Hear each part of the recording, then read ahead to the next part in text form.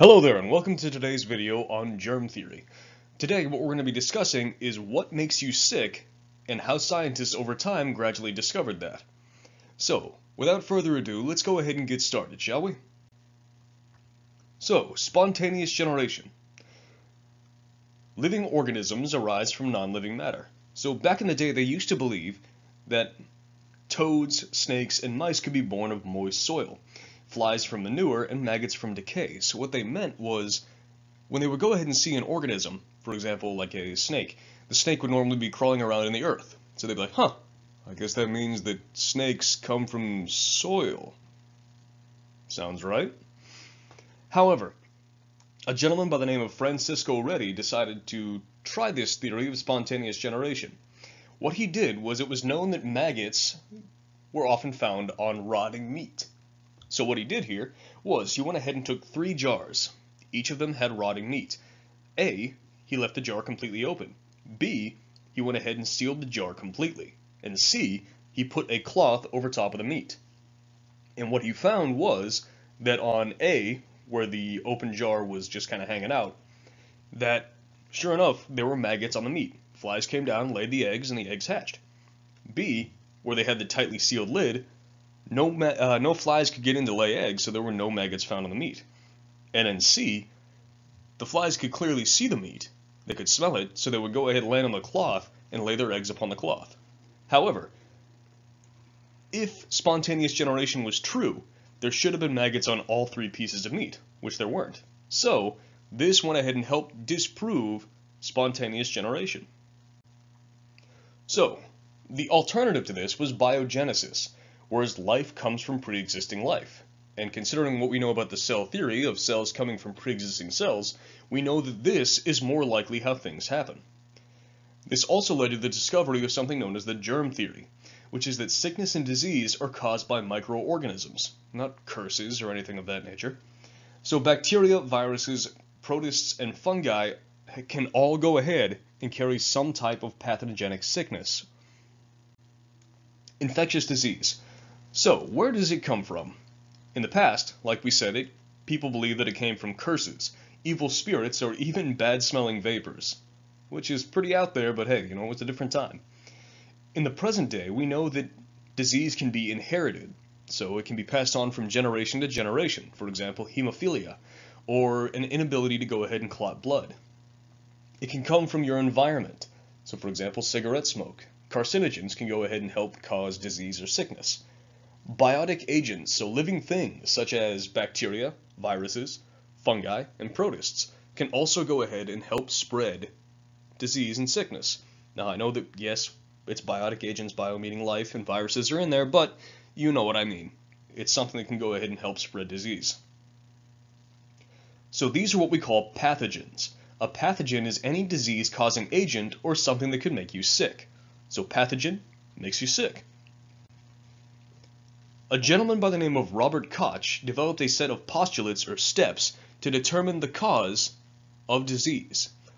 So Koch's postulates were, back in the day he noticed that a rat had died.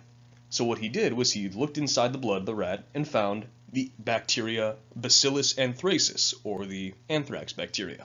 So what he did was he went ahead and isolated that microbe. After he went ahead and isolated it, in step two, he grew the bacteria in a culture, so he had a fresh strain of Bacillus anthracis, or the anthrax bacteria. Step 3 is to go ahead and see what would happen. He injected this live strain of bacteria into a healthy host, in this case a rat. A couple of days went by, sure enough, number 4, the rat died. And what he did was he looked inside the blood, and sure enough, he found the anthrax bacteria, the same one that killed the first rat, alive and thriving inside the blood of the second rat. So, he did this a few more times until he successfully determined that Bacillus anthracis, the anthrax bacteria, was the cause of anthrax poisoning. Another scientist of note was Louis Pasteur.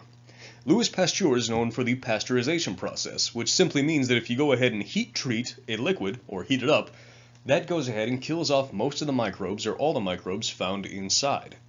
So this, if you ever go ahead and look at the side of a thing of uh, orange juice or milk, and it says pasteurized, that doesn't mean that they grew in a pasture. What that means is that this liquid was gone ahead and uh, treated with heat before it was given to you to go ahead and kill off any microbes that might be found. He also helped further the disproving of spontaneous generation with a little experiment he did with an S-shaped flask. What he did was went ahead and um, affixed an apparatus to the flask that allowed air out but nothing in. So what he found was, if you look at step number one here, he went ahead, applied heat to the liquid, killed off any bacteria inside it, let the flask sit, and sure enough, no bacteria was found there. In his second one, he went ahead, applied heat to the liquid to kill off all the bacteria, removed the neck, which stopped the air from coming in, let it sit for a bit, and sure enough, bacteria were found. And in step number three, what he did was went ahead, heated the uh, liquid up, killed off all the bacteria, tilted the flask sideways, and let it sit, and sure enough, he found bacteria present. Now, after this was said and done, he would go ahead and heat the liquid again, and kill off all the bacteria found inside. Now, using Koch's postulates, he also found the cause of rabies, chicken cholera, and the cause of anthrax in sheep. Another scientist whose discoveries were extremely vital in the methods of germ theory and infectious disease was Edward Jenner, who went ahead and developed the first vaccine for smallpox by going ahead and inoculating his patients with cowpox. So what he found was if an individual was infected with cowpox, they could not be infected with smallpox. So Edward Jenner is credited with discovering the first vaccine. So ways that disease can spread. The first is from person to person, via coughing, physical touch, or even sneezing. So an example of this includes the common cold, the mumps, and the measles. Ways to prevent this includes washing your hands and covering your mouth when you cough or sneeze. So go ahead and do the Batman sneeze. Bring your cape around you and then sneeze into your elbow. That's right. I said that. Also, wash your hands. Come on, man. It's a con it's a very common courtesy. A very deadly form of person-to-person disease transmission are sexually transmitted diseases, or STDs. Some of the most dangerous pathogens are spread from person to person via sexual contact. These infect millions and kill thousands each year in the USA alone. So, bacteria can go ahead and cause STDs such as syphilis, which can be fatal, as well as gonorrhea and chlamydia, which can severely damage reproductive ability if not taken care of. Viruses can go ahead and cause hepatitis B and C, as well as genital herpes, and probably the most deadly of all, HIV or AIDS. The second method of going ahead and stopping the spread of disease and sickness is the use of contaminated food and water. So, a great way to go ahead and prevent this is undercooked meats and non-pasteurized liquids can often contain bacteria, parasites, and other sickness makers and pathogens. Ways to prevent this are the properly cooking of meats, washing of hands of food workers or anybody cooking in general, and the sanitation of water or boiling it, pasteurizing it, before you go ahead and drink it. So, for example, undercooked meat specifically can go ahead and carry the eggs of parasites such as tapeworms, which will go ahead and once inside the human body will hatch, latch onto your intestines, and start to feed off whatever is coming through. However, if you properly cook the meat to the uh, corresponding temperature, that will go ahead and harmlessly kill off the eggs before they can hatch. Also, there are a wide variety of different bacteria and microbes that live inside water, especially bodies of water such as ponds, lakes, streams. So even if you're extremely thirsty, never go ahead and dip your head into one and start drinking without boiling the water first. Boiling will go ahead and assure that you kill off all the bacteria prior to drinking it. And also, please wait until the liquid is no longer boiling before you drink it. You'll thank me later for that. The final type is through infected animals. So infected animals are known as vectors. So these are animals that carry disease-causing organisms from person to person. Some examples include ticks, which carry Lyme's disease, as well as mosquitoes, which carry malaria and West Nile.